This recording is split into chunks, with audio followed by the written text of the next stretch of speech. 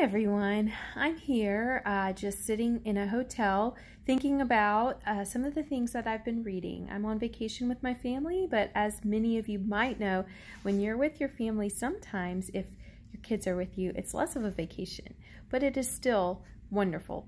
Memories are being made, and we've had some challenges, but of course, we've also had some really great memories too.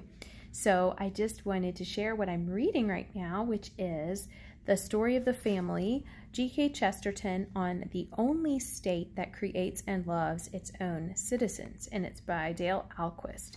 It's pretty good. He compiles a bunch of quotes that G.K. Chesterton has written, had written in his lifetime about the family. Um, different chapters are devoted to different topics, uh, from marriage to work and home to just, you know, the family.